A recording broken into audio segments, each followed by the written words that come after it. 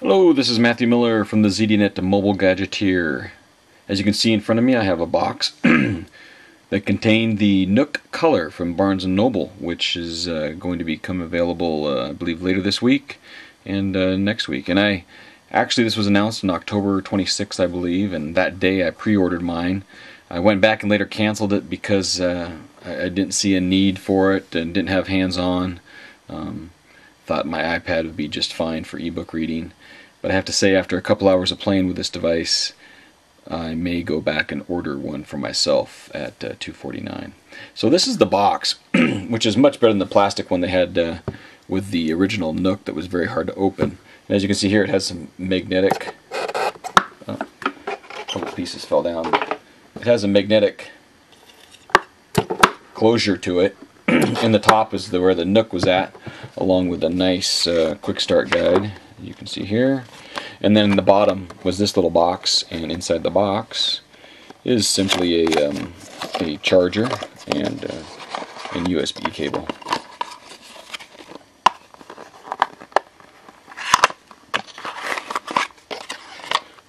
So as you can see, USB cable and then the uh, the Nook labeled charger with the uh, retractable prongs and the USB end. Okay, so pretty basic packaging. And here's the device itself. Let me just move the box out of the way a little bit here and get in there. So here's the uh, the Nook color itself. And uh, I have to say, after holding it, I almost went out and placed my order, and I still may before this review uh, time is up. Um, it just feels fantastic in your hand. Um, as you can see here, there's an opening. It's uh, actually, I couldn't tell in the pictures, but this is actually like a loop. It has a very solid feel of the plastic on the front.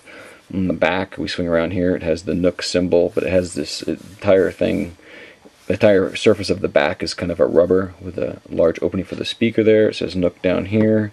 On the bottom is a micro USB connection for um, both charging and connection to your PC. You know, for Adobe Digital Editions and EPUBs from the library things. There's a uh, power button on the top left. Over on the top right, we have a plus and minus for the volume button, and that's it. There's no other buttons. There's no uh, no buttons along the side for changing the pages or anything else. And then the center here is a raised button. You can kind of see down there. There's a raised button for the Nook button. And if we push that, we then see that we have the uh, the ability to unlock the Nook, which is similar to an Android device where we actually slide it over and wake it up. Right, and we can go back to the screen there. Now, before I get too far into showing you uh, some of the software and everything else, this has a 7-inch, what they call a Vivid View color touchscreen.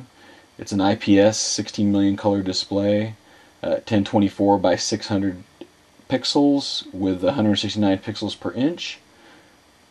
has uh, six different fonts to choose from, different font styles, background colors, uh, expandable storage. And I didn't even check to see where that was at. Has a micro USB port somewhere on here. Let me just pop open the micro SD card slot is down here. Interesting. There we go. So that's easy to get to. As you can see, it's underneath the little uh, loop area. And there's a little magnet, it looks like. And we can see underneath there is the micro USB card slot. So that's easy to get to and convenient. That's interesting.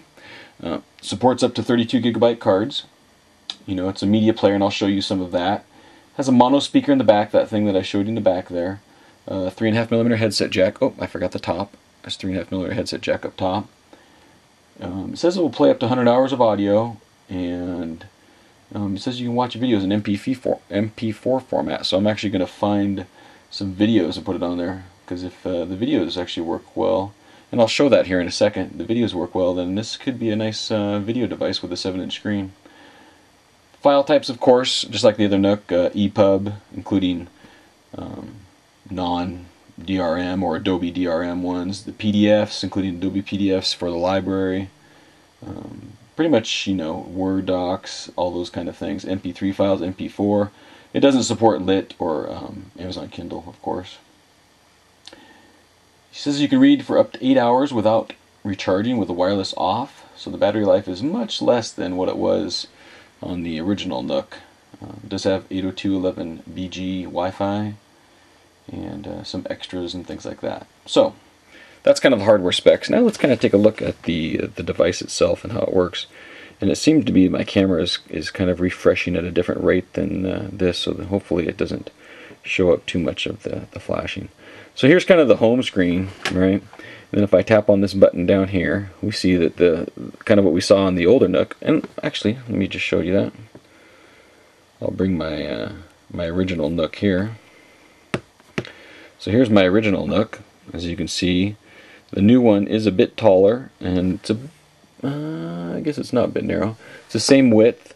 It is quite a bit heavier um, than the original Nook, and of course, this the original Nook had the uh, the page turning buttons and a e-ink display. This one is completely color. So when we tap that um, bottom icon there, it will actually show up the kind of menu that we have. And um, I still like my original Nook, but I gotta tell you, this is pretty sweet. So we tap the tap the button there.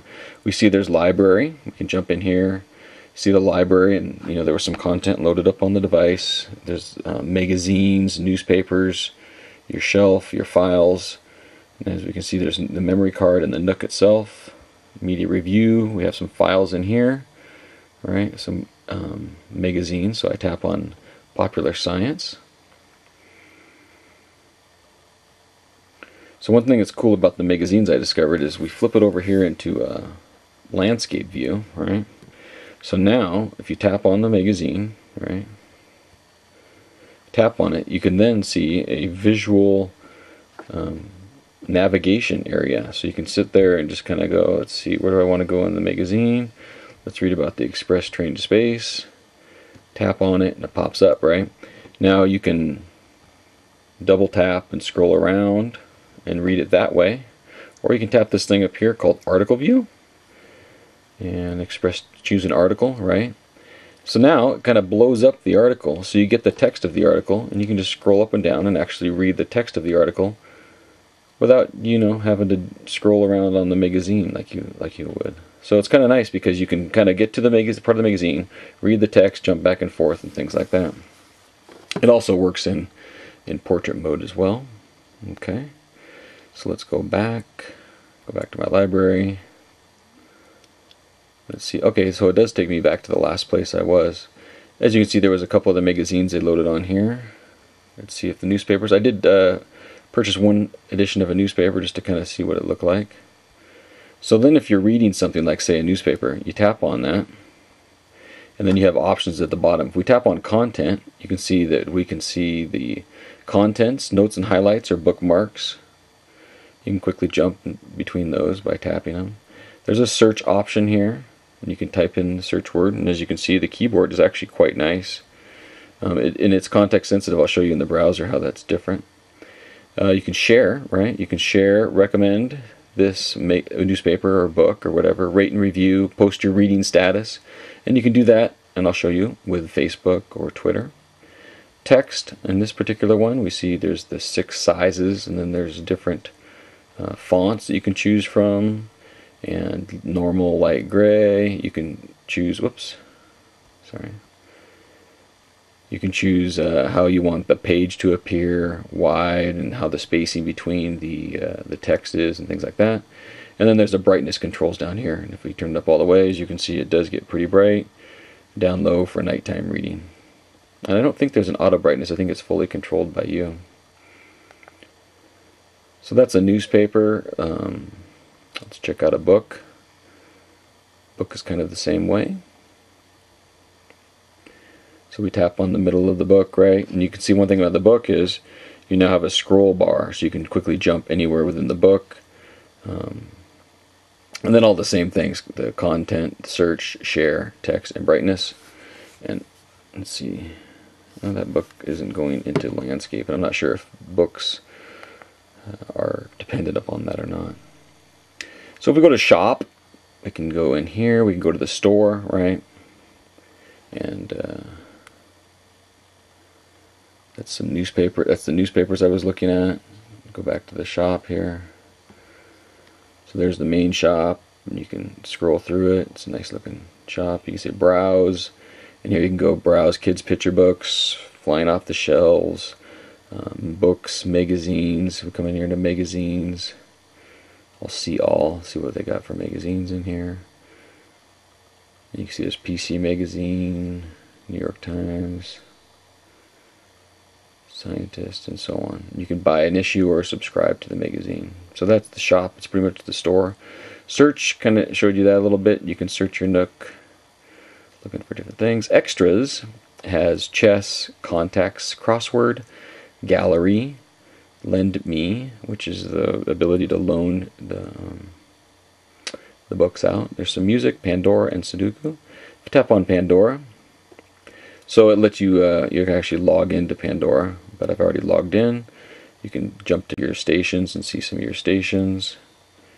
You can close that, and if you can add a station, log off, if it could play.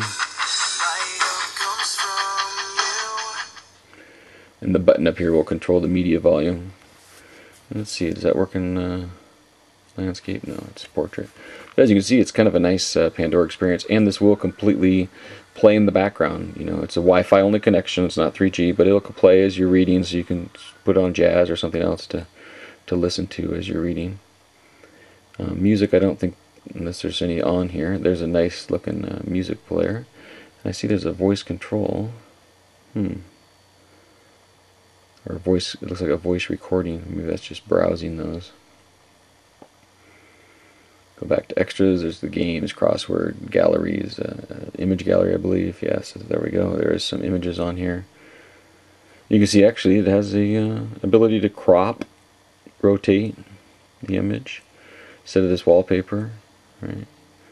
We can scroll through some of these different images that are loaded on here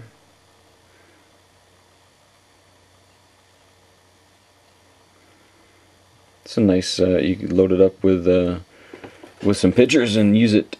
Let's see. Oh, it does support the pinch to zoom, right? And how about landscape?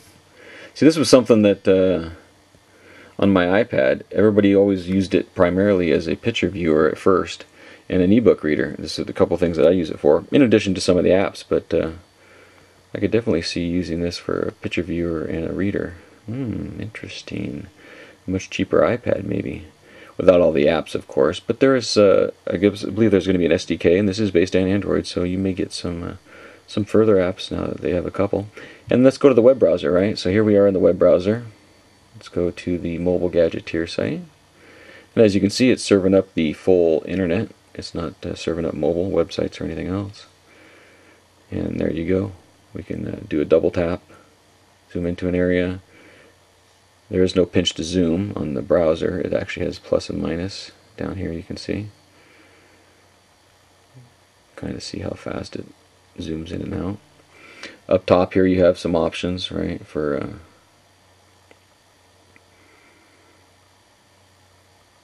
bookmarks, windows, more options. We tap on here, downloads, page settings. Let's go to settings, see what we've got. So text size, default zoom, open the pages in overview, block up hopper, block up windows, load images, landscape only display, JavaScript, plugins, set your home page, open the background. A lot of settings to go through there. Select the text, find on the page. So it's quite a functional browser actually. We see on there. And actually it, look, it looks great on this on this display.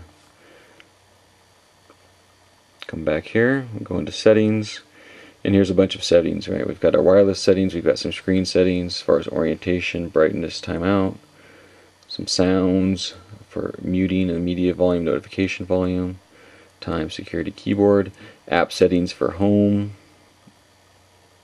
shopping, about the passwords and things like that. And then the social, that's what I wanted to kind of show you the social part here. So we come into social, we can link your Facebook account, your Twitter account, and a Google account. And the Google is used for importing contacts. And then uh, the sharing is via Facebook or Twitter. And then there's some uh, search items and you tap. You can select what is searchable. Extras, uh, which is names of applications, the browser, the library by default, and then music and the shopping. Let me see if this main page goes in landscape. So there are some, you know, and it's not everything is in landscape. It is uh, within like magazines and some web and the web page. And did I show that? I don't think I showed the web in landscape. I believe that, yeah, the web web actually looks great in landscape as you can see on the mobile gadgeteer site here. And if we scroll around, it's a nice experience. And with uh, with this, the music player and the photo viewer, you know, if you're looking for a large color photo viewer for 249, it's much cheaper. It's half the price of an iPad. Plus, you get uh, the full reading experience. Oh yes, the reading experience. Let me go back to that again, because there's um, there's children's books here, and I've I got a video of my daughter watching the book. She was enthralled with it actually. So let's go to like the Elephant's Child. Um, it pops into landscape by default actually. So there's two options here with children's books. You can have read by myself and you just simply read it, right? Or you can say read to me and we'll see what happens here. Oh, let me turn it up a little bit. By Rudyard Kipling, adapted by... Long ago, elephants had no trunks. They had only blackish, bulgy noses, as big as boots. Their noses were suitable for sniffing and for wriggling side to side, but absolutely useless for picking things up. In these far off times, there was one elephant's child in Africa who was born with the. So as you can see, when you uh, when you choose to have it read, read to you, it has inflections. It's very enthralling and uh, engaging. I mean, um, book reading experience. Now, if I say read it by myself, we tap that and we simply go through and we read it. Now, some of these, the text kind of maybe kind of hard for a kid to read. What you do is tap on it, and it pops it out in the white background so that it's easier for the child to read, right? Then you can tap it back, goes back down, and then if we also decide while we're in there to have it read for that particular section, In these far off times, there was one elephant's child so we can have it read for that specific section without going back to the home screen again. And then we move on to the next one, right? And we can read it ourselves, and if we get stuck on a word that we might not know, we simply tap on it and push play, and it'll read it.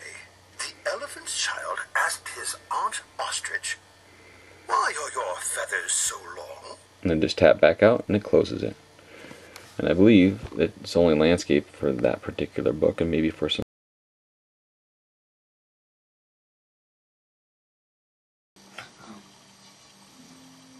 There he stopped to rest on a log, when suddenly the log winked at him. For this was no log, but in fact the crocodile. Crocodile? The elephant asked. What do you eat for dinner? Come closer, little one, said the crocodile. Then it began his journey home. So Kari, what do you think about watching uh, the book being read to you? It's awesome. Had ever so You're into the story, aren't you? Um, almost. No, I mean you're into it. You like it, don't Oh, you? yeah. I haven't heard that story of you. Sounds pretty good. Poor elephant. It chewed on it. in the mud.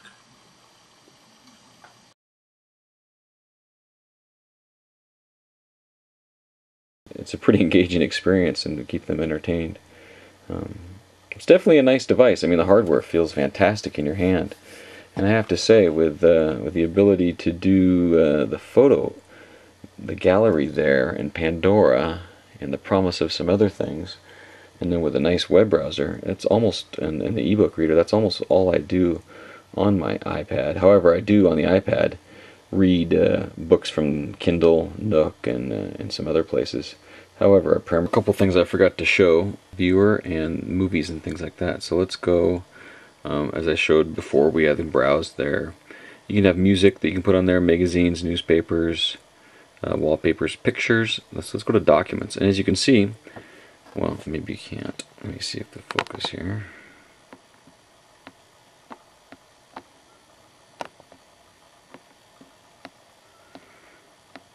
Sorry if the focus is off. Actually, I learned that. Uh, let me adjust the brightness because I think if the brightness is up higher, it doesn't flicker. Sorry about that earlier. So here we are in the documents, right? And you can see there's a Word document, a spreadsheet, and a PDF. If I tap on the Word document, so there's a trailer packing list. If I tap down at the bottom, we have page view, properties, and about. And if we go to about, you can see that this is actually Quickoffice software. that's licensed for the Barnes & Noble uh, Nook color. Then you can go back, go to a spreadsheet, and you can view the spreadsheet, and it's just viewing, so you can't create the spreadsheet. But then if you flip it over, it's a great viewer for spreadsheets and things. If you tap in here, you can jump to different worksheets, you can go to a cell, you can view the properties or about, and you can search within both the spreadsheet and uh, Word document. Let's go back to a PDF. This is actually a review of mine that I've saved uh, from back in 2002 on the uh, original Sidekick. So we have, uh, whoops, yeah. Trying to see if there was pinch to zoom. Some kind of a zooming ability there. And as you can see, the PDF reads quite nicely. It's pretty fast. It has the pictures in there. So for somebody who reads a lot of PDFs, this could be a really nice device for that. I mean, $250 and you get uh, a nice color PDF reading capability um, in the device, which is always something that hasn't really been great on uh, on the Nook and other e-ink display uh, devices, except for like the Kindle DX was a great uh, PDF viewer. But everything else always kind of lacks something. But this one actually looks quite decent, and I could put some of my uh, naval architecture ship resources on there. So by the way, I, I have ordered my own uh, Nook color again. And here's another reason. If we go to videos, it supports MP4 formats. And as you can see, a minute here.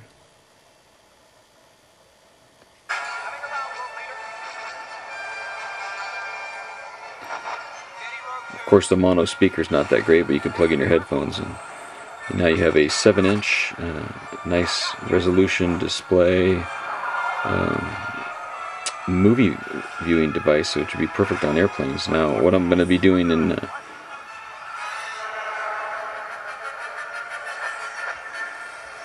what I plan on doing with some other tests is uh, seeing how many movies I can watch, like on an airplane or something like that. Um, you know, can I watch two airplane? Can I watch two movies? um, and still have the ability to read books and things like that. So that's another uh, another couple things that are uh, quite powerful in the Nook color.